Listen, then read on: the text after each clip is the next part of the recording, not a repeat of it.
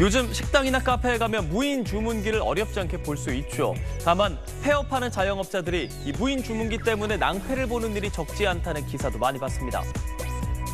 음식점을 운영하다 이달 초에 폐업한 A씨. 무인 주문기 렌트 업체에도 연락을 해서 계약 기간을 다 채우지 않은 데 대한 위약금을 내겠다고 했습니다.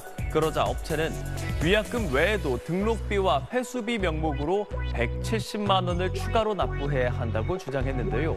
A씨는 견적서 원본에도 없던 내용이고 계약 당시 업체에서 설명하지 않았던 금액이라고 토로했습니다. 예, 이런 일이 생겨도 폐업을 앞둔 자영업자의 경우에는 다음 임차인에게 빨리 자리를 넘겨줘야 하다 보니까 업체 측에 이의를 제기할 시간도 없이 기계를 서둘러 정리하는 일이 잦다고 합니다. 전문가들은 업체가 위약금 외 추가 비용을 정당화하기 위해서는 혜택 반환에 대한 구체적 내용을 계약서에 삽입해야 한다고 지적했습니다.